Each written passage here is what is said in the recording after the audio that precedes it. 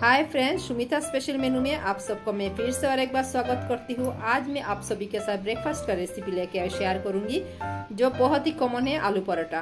आप लोग सोचोगे ये तो आलू पराठा हम सब बनाते हैं घर में, लेकिन मैं आज बनाऊँगी चीज़ आलू पराठा, जो खाने में वो वाला आलू पराठा से ज़्यादा टेस्टी है।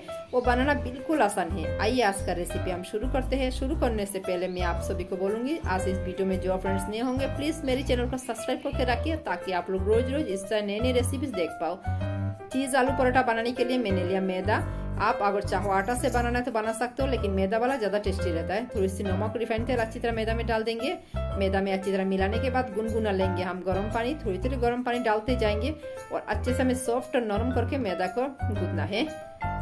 तो देखिए कितना सॉफ्ट और नरम हो चुका है मैदा। हाथों में लेंगे थोड़ी सी रिफाइंड तेल, चारों तरफ़ मैदा में अच्छी तरह हम लगा लेंगे। पंद्रह मिनट हम रेस्ट में रखेंगे।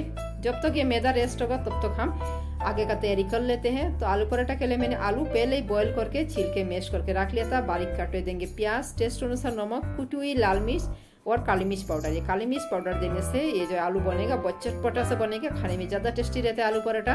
मैदा भी हमारा सेट हो चुका है। अभी उसमें से लेंगे एक लुई। हम लुई लेके हमें जिस तरह रेगुलर हम हमेशा पराठा को बेलते हैं इसी तरह करेंगे। अभी हम जो आलू रेडी करके रखे थे, उसमें से लेंगे थोड़ी सी आलू। इस रोटी को बीच में हमें बिटा देना है। लेंगे स्लाइस के वह चीज़, एक पीस चीज़ लेके उस आलू के ऊपर हमें इस बराबर करके बिटा देना है। अभी हम इस तरह फोल्ड कर लेंगे। तो फ्रेंड्स, देखिए, बिल्कुल आसान है बनाना और खाने में ज़्यादा टेस्टी है। इसके साथ हमें अलग सा कोई सब्ज़ी का ज़रूरत नहीं है। अब ये जो आलू का टेस्ट है, फिर चीज़ भी है, चीज़ अच्छे से मेल्ट हो जाएगा, खाने में ज़्यादा टेस्टी रहता है। तो अभी हम ऊपर देंगे थोड़ी सी छिटक देंगे मैदा और हल्का हल्का हाथों से हमें बेल लेना है, चारों तरफ़ घुमा फिरा के। ज़्यादा ज़ोर दे के बेलना नहीं है, नहीं तो जितना चीज़ और आलू है, सारी बाहर आ जाएगा। अभी गैस पे मैंने तवा बिठा दिया, तवा गर्म होने के बाद ये भी हमारा बेलना हो चुका है। हम तवा में इस परोठे को देंगे, उल्टा पलटा के अच्छे से हम सेक लेंगे। ऊपर हम लगा लेंगे घी, उल्टा पलटा के घी से हम सेक लेना है। आप अगर घी पसंद नहीं करते हो ये आपके पास घी नहीं है, आप रिफाइंड तेल से भी कर सकते हो। तो देखिए, हमारा चीज़ आलू पराठा बन के रेडी हो चुका है। कितना आसान है, बहुत जल्दी बन के रेडी हो जाता है। आप अगर चाहो, बच्चों को सुबह टिफ़िन में देना है तो बहुत जल्दी बना के दे सकते हो। उसके साथ कोई अचार दो, या सब्ज़ी दो, कोई ज़रूरत नहीं है। बच्चे ऐसे ही खा लेंगे, क्योंकि ये चीज़ आलू पराठा खाने में ज़्यादा टेस्टी रहता है। तो जितना मैंने मैदा गूद के रखा था, एक एक करके सेम इसी तरह मैंने पराठा को बेल लिया। आलू पराठा हमारा रेडी हो चुका है। मैं अभी आप लोगों को दिखाती हूँ, पूरा अंदर चीज़ से भरा हुआ है। ये आलू के ऊपर सारी चीज़ अच्छे से मेल्ट हो चुका है। खाने में ज़्यादा टेस्टी है।